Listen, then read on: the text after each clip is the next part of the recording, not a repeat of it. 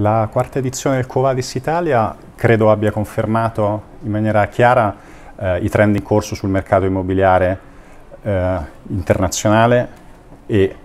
nello specifico italiano. Eh, grandissima attenzione da parte degli investitori stranieri al nostro mercato, con un focus particolare sulla città di Milano che è ritenuta sicuramente il posto dove venire ad investire in questo momento nel nostro paese.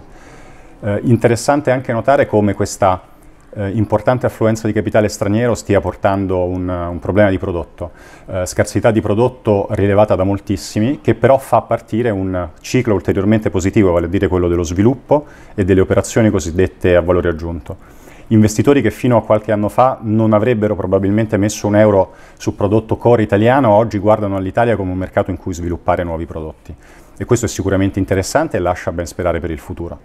eh, anche se molti hanno evidenziato come il mercato sia purtroppo in ogni caso piccolo e come altre città, altre aree al di fuori di Milano siano comunque considerate meno interessanti, salvo che per specifiche asset class. È stato anche interessante ascoltare molti dei player del mercato evidenziare che c'è comunque un rischio politico, c'è comunque un rischio paese sull'Italia che rimane e del quale non ci dobbiamo dimenticare.